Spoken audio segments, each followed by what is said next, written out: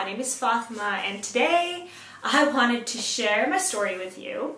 But before we start, I do want to warn you, it's going to be very, very long, so I suggest you grab a cup of tea and settle in for we are going for a very long ride down my memory lane. So, now that we settled, let's get started. My story starts, particularly this story, starts in the summer of 2008 when I moved to Canada at the right age of 16. It was sudden, to say the least. One day I woke up and my mom just told me that we are moving to the other end of the world, um, or the side of the world, sorry, in two weeks. And I was shocked. I was in denial. I had never moved before. I have always had the same group of friends. We grew up together. I was always in the same neighborhood. And yeah, I always knew myself as the girl who lived in Karachi, right in front of the sea, not someone who lived in Canada. So, yes, I was shocked. I was in denial. I also thought that my mom was joking, that we were just going to Canada for a visit and we're gonna come back. There's no way we are moving to the other end of the world. I keep saying the end of the world, other side of the world. I also remember crying on the plane throughout the journey and the steward kept bringing me drinks and candy to calm me down and cheer me up, but to no avail. I kept crying because I really thought my life was over. Like, I had friends, I had school, everything, my whole world was in Karachi, so my mom, why would she do that to me? So yeah, I kept crying, but you know, the journey ended, we landed, and once we landed, it all seemed so alien to me. It was actually worse than I imagined. I mean, not really worse, but like to a 16 year old, it was bad. The air, air smelled different, it was cooler, it was lighter. People looked like they were out of a movie because, you know, you need to consider that I was only exposed to one race my entire life. Anything, anyone who looked different than me was just part of a movie or a show that I was watching. And seeing them in real life was just so, it was an int interesting experience to say the least.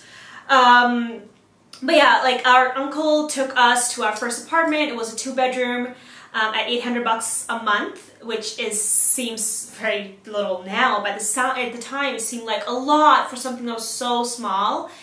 And we stayed there for six months. Um, I remembered my first days being so, so gloomy. I was feeling hopeless. It was sad. I was living in this two bedroom, you know, apartment where we slept on mattresses with no furniture other than that. And to pass my days, I used to often walk to the central library and I would bring back two to three books that I sprinted through in a matter of days because that was my only source of entertainment. I was not really into, you know, there was no social media at the time. I had no friends. So all I did was get lost in books and my mom would give my brother and I a dollar a week to treat ourselves to whatever we could afford with it and I could only afford a donut from Tim Hortons, so I would just get that. And that used to be the highlight of my week because I got to eat a donut. Um, but yeah, once the summer was over, we had to gear up for school. Again, that was a whole new thing for me. I had so many thoughts at the time. I did not know what to expect. Uh, considering, you know, I had always been part of the same group of people because we went to the same school with the same people for 16 years. I never needed to make new friends, so I never really learned how to make new friends. So, you know, think about all of this, I I got like it gave me a lot of anxiety. I also didn't have any warm clothes because coming from Pakistan, it's always hot there. The summers in Canada seem like it's winter in Pakistan. So I only had, like, I had to resort to the same three sets I had, which were very warm clothes. Um, sorry, they weren't very warm clothes. They were just like a padded hoodie and somewhat of a warm jacket and sweats, I think. Um, but despite all these harrowing thoughts, I went to school because I had to. It was tough. I had no friends and it sucked at, you know, at the time because I didn't even know how to make any. I ate lunch alone in the library, reading novels that helped me escape to much cheerful magical realms and pass time in a much I guess, or less miserable ways. Um, I couldn't concentrate on school, of course, so that caused me to lag behind.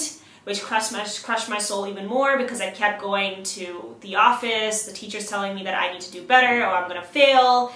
And that just, yeah, it was a cherry on top.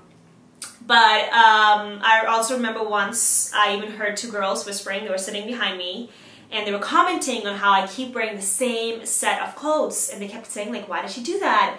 And that was enough to send me running back home in tears, vowing to myself that I will never go back it was, yeah, it was tough, but I had to go back because, again, it's school. I can't skip it. My mom would never let me skip school. She's a doctor, she really cares about education, and she was not gonna let me just cry about girls commenting on me wearing the same clothes. She's like, you have two sets and you wash them and they're fine, nothing's wrong with them.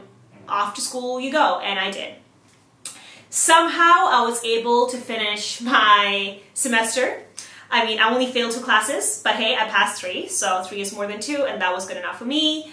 Um, we then had to move as we couldn't stay in the basement for too long. My parents realized that, you know, my brother myself and my mom and my dad, four people in a two bedroom basement that was dinky and gloomy, it was not gonna help us, you know, maintain our mental health. So it was a brighter chapter. We moved to a townhouse with three bedrooms, so we had our own rooms, which was good, but we couldn't afford it as my parents, you know, despite them wanting us to have a better experience in the new place, um, it was more of a risk for them because they couldn't really afford it. But they did take the risk nonetheless, um, and I am so grateful for them for always trying so hard.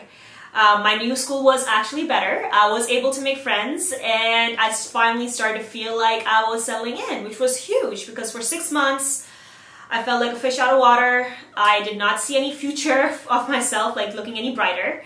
Um, so finally starting to feel like I was settling in was great. I started to feel at home and I really, really started to believe that things will be better now. They were, but not for long. My dad decided to leave because he just couldn't, you know, tackle the whole foreign world, selling in, new language, all of that. He just he wanted to leave, so he gave us an option to go home with him, but my mom wanted to stay, and so we decided to stay with my mom.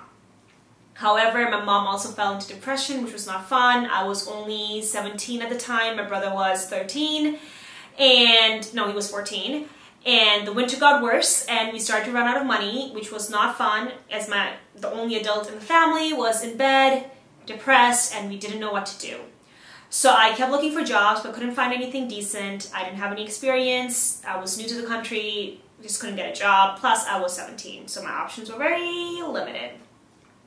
But finally I did get a job. It was, you know, at a restaurant. I was being paid under the table. Was working 12 hour days, getting paid way under minimum wage, but I was happy because I was making some money.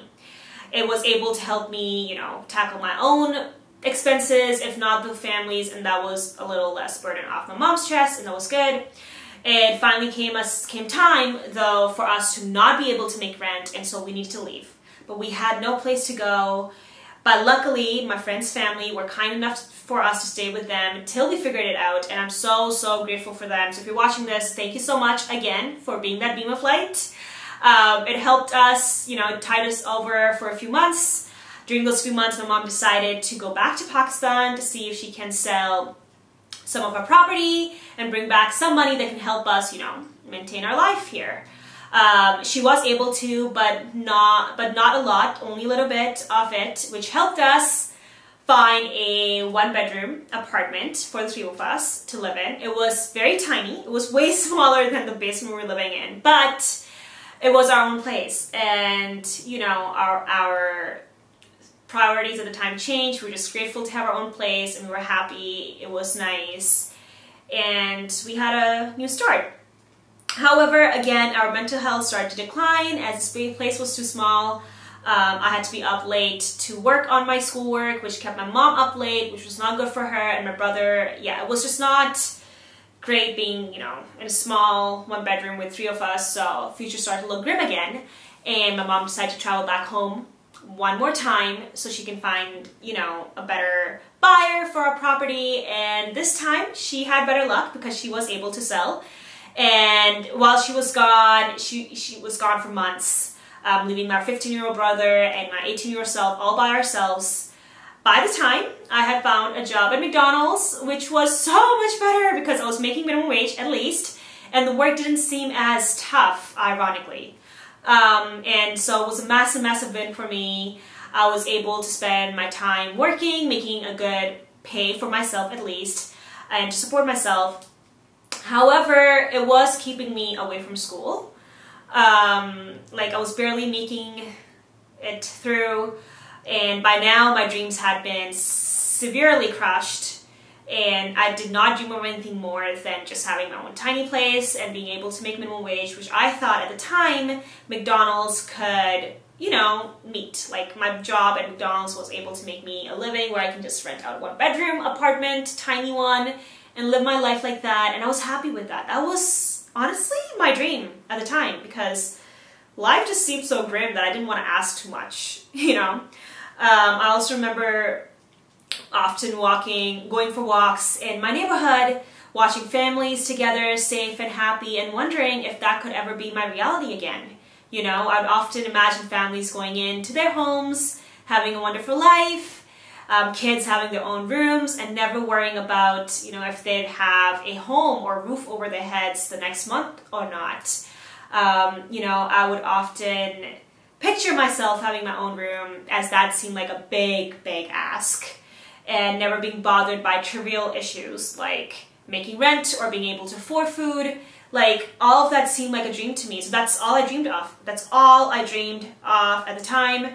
Just wanted to make enough money to have my own place, to just being able to afford food, and yeah, that's all I cared about. So it was no surprise that being let down life so, for so long, um, at the age of 18, I didn't expect myself to be worthy enough to even go to university. Um, so I didn't bother. I really did not bother. I slacked in school, didn't care. All I cared about was just passing barely so I can just graduate from high school.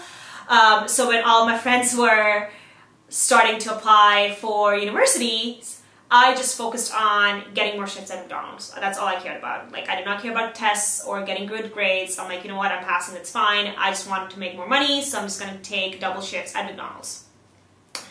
My mom, who was struggling to find us a better home, to live in a better place, she was unable to focus on my academics, so she didn't realize that I was slipping like that. And I do not blame her. I do not, because she was just focusing on bigger problems. Um, so I slipped even more. And more until one day I entered my first art class, which I was forced to take, by the way. Um, I needed to get an art credit to graduate high school. So I took it on. I'm like, fine, just give me any art class. So I took Intro to Art. Um, it was a grade 10 course while I was in grade 10, 12 because I had skipped. Uh, I was in grade 11 when I moved here, so I had not taken any art classes in Pakistan. So I had to take one. And that was the moment that changed everything for me. Everything changed in that moment. As soon as I walked into the class, it was almost like I was awoken from a deep slumber. Like I was asleep all this time. Or was in some other world or something. Or maybe like, I don't know, in some dungeon or something. And someone just shined this light on me.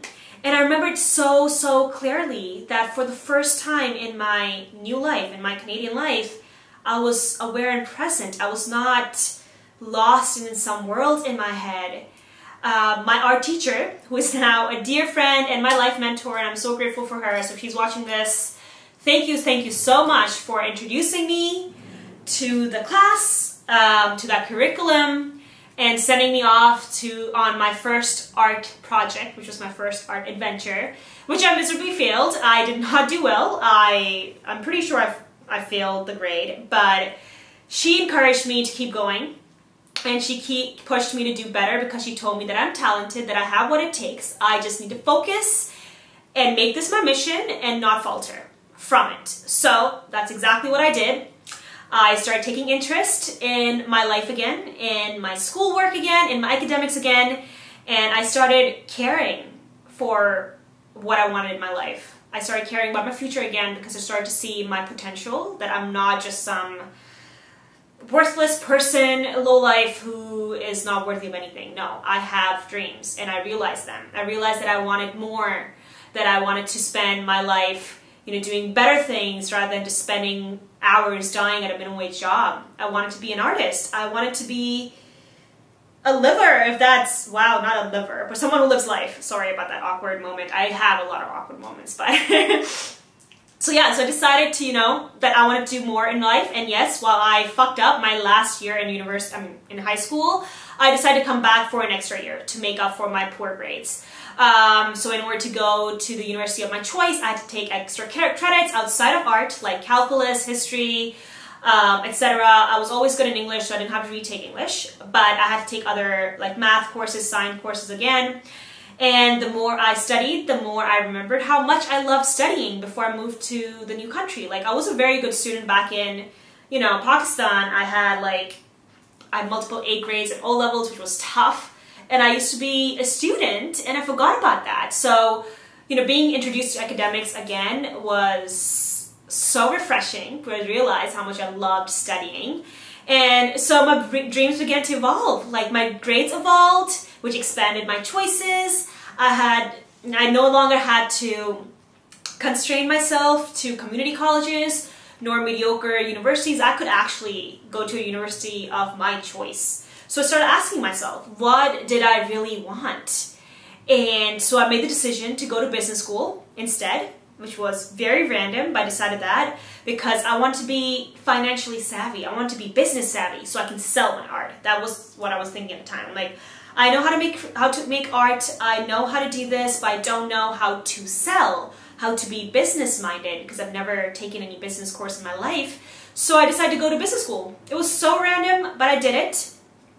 And while I'm so happy I did that, um, it wasn't a rosy decision because business school brought with it so much of gloominess and struggles. It was not fun at all. It was not fun like art. And it did crush my soul every now and then. It was a lot tougher than I imagined. Um, but I pushed through. I went for regular counseling to keep my mental health in check because I knew that depression ran my family. I did not have depression, but I did want to make sure that I didn't develop it. So I constantly went for um, psych evals, counseling, made sure that my mental health was in check, went to the gym, um, socialized. My family at the time, while being able to have a home, finally, was unable to support me you know, in my university career, so I had to take on three different jobs because each job would only give me like two, three hours or five hours, so I need to make at least 20 hours. So I took three jobs. I remember having a night shift at McDonald's because they would only give me the night shift and I had a morning shift at another job, which was a media center office, like I was front desk. And I remember, you know, sometimes I would have to finish my night um, shift at 7 a.m. So it was 11 p.m. to 7 a.m. shift at McDonald's and go straight to my 8 a.m. shift or 9 a.m. shift um, to open the office. So I only get like two hours in between where I would just like eat, have breakfast, just sit and calm myself or just commute. Um, so I wasn't sleeping and nor was I eating properly, but I was getting it through. I did make it fun by socializing and partying. I would party every weekend. It wasn't great for my personal development or my mental health, to be honest, but it did help me distract myself from my grim reality of the time. You know, I was telling myself, like, at least I'm partying, at least I have friends, at least I'm taking pictures and making it look like I'm living a life. So it helped. It wasn't a great, healthy coping mechanism, but it did help me cope, which is all I needed at the time. So Four years passed like that. I graduated. I got a salary job. I thought to myself, if this was it, was going to be rainbows and sunshine from here, but it was not. Um, I started hating my job because it had nothing to do with art, anything. It was strictly clerical. It was a marketing job. What, what we were selling was not fun. So it was not fun. And the commute was too long. It was an hour and a half one way, so three hours long, stuck in traffic, in a car work was tedious and I really, really wanted to feel grateful because at least I was not financially struggling. So I forced myself to feel grateful, to like it, but I couldn't. My mental health started to dwindle again and I was just struggling again and I was telling myself that something's wrong with me, something's, why is this happening to me? Um, also, while I was in my final year of university, my high school teacher, who had become a mentor at the time, pushed me to apply to a very prestigious art school, which I had no hope or expectation to get into. Um, because you know not only was I struggling with my mental health, I had jobs, I couldn't go to the interview, the in-person interview for my portfolio. So I just mailed in my portfolio and I told myself that you know if I got in, I got in, it's fine. And much to my surprise, I got in. They liked my art that I submitted and told me that I could study in any program offered by the university. And I was ecstatic and in awe, and I was like, what? Like I again, you know, forgot that I am worthy, that I am an artist. I had forgotten about all that. And I couldn't even fathom being an artist again, so it was huge for me. So I started my second degree.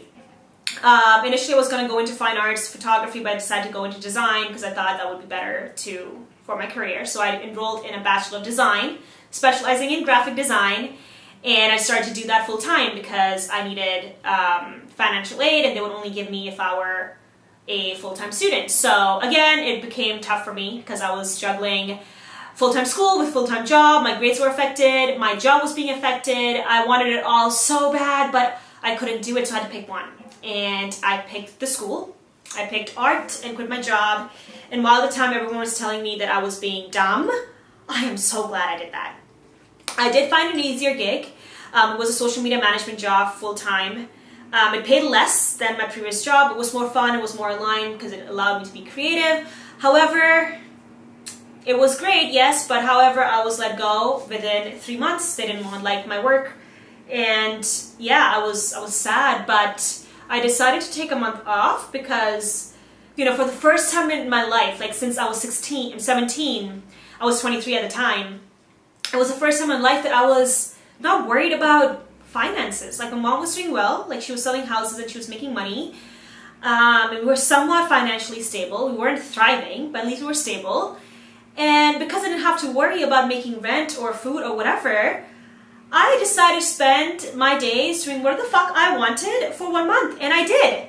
I went out to the city, I explored, I took pictures, I even started a blog. This was like 2015.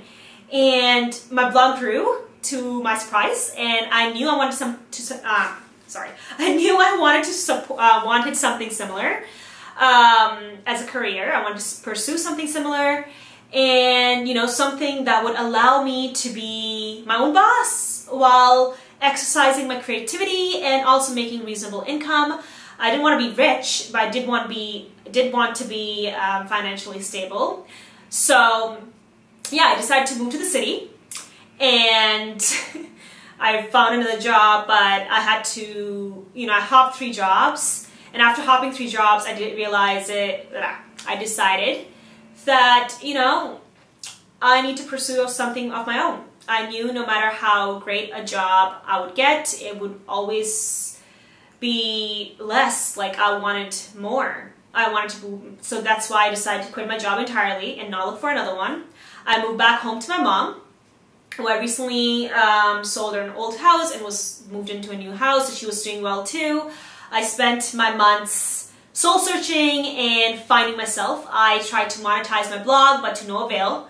It was then that I joined a mastermind, a business mastermind, which opened my eyes to so many possibilities. I realized that I was infinite. I had skills, I had knowledge, I had experience, all of which were enough to help my dream become a reality. I was I was everything. I was a universe in itself. I did not feel less worthy. I did not feel less. Um, and that's how I started my entrepreneurial journey.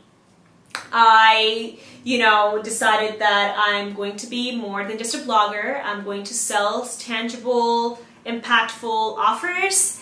Uh, and yes, there was a lot of trial and error, uh, a lot of money involved. Like I invested over $40,000 um, in coaching, maxing out my credit cards, which I do not recommend, by the way. I mean, I, it's something that I did, and I know it's not for everybody, so I'm not, this is not a financial advice. I do want to say that. It, I just wanted it so, so bad that I did not care about going in debt. So I took out money out of my uh, credit line, line of credit, credit cards, spent 40K in coaching, setting up my business legally, hiring a lawyer, accountant, hiring a team, multiple pivots. I started as a freelance designer, transitioned to a coach, only to come back to design again, but this time it was more about branding and as a studio rather than just a freelance random designer. Um, and it is only now, 13 years, 13 and a half years, later that I'm finally feeling that I have a stable ground I can walk on that will lead me to my destinations because my dream has evolved and there are more than one destinations. It's not just one. It's a very rich experiential life that I want to cultivate for myself. And honestly, I know this is just a beginning. It's been tough so far, but has helped me become a very skillful sailor. So I'm excited for this new venture across the new ocean. And I'm just glad to be out of the trenches. And my dear mother, who has been through so much to keep us, my brother and myself, safe and sound in a foreign country, which we now call our forever home, um, has her own one bedroom condo that she loves and decorates every day. And she's only a few blocks away from me. And we meet every day, we talk about life, we, we're just living our life instead of just surviving it. And my brother, who has also graduated from the same university that I went to, he has his own apartment and his own thriving business. And he is just focusing on scaling, investing in stocks, thinking about the bigger picture of how he wants to live his life, like grander, as opposed to just like worrying about, you know, if we can afford mac and cheese. Um, and just seeing how, you know, we all of us not only just made it out, but are now thriving is enough to make my heart sing with joy. So Wow, that was a lot. Um, so thank you so much for sticking around till the end. Um, I'm grateful for you to listen to my story. Um, it was long. I had to shorten it a lot, um, and I will be sharing more of it as I continue to make content to tell my story. Um, but yes, I'm just glad for you to be here, for listening to it right till the end. It was a long story, so I appreciate it. I'm excited for this new chapter in my being doing what aligns better with my soul, with my higher self, and soaring further along in my journey, discovering more magical, you know, amazing realms, going on more adventures, taking more risks because I'm not in a survival mode, I'm more into thriving. So, yeah, thank you so much for listening, and I'll be sharing more on my YouTube channel, this being my first of many. So, thank you so much, and stay tuned for more.